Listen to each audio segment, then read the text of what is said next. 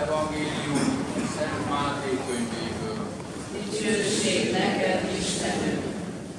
Abban az időben, az utolsó vacsorán, miközben ettek, Jézus kezébe vette a kenyeret, áldást mondott, azután megtörte, odaadta tanítványainak ezekkel a szavakkal. Vegyétek és egyétek, ez az én testem. Azután a kelyhet vette a kezébe, hálát adott, és odaadta neki ezekkel a szavakkal. Igyatok ebből minnyájan, mert ez az én vérem, a szövetség vére, amely sokakért kiontatik a bűnök bocsánatára.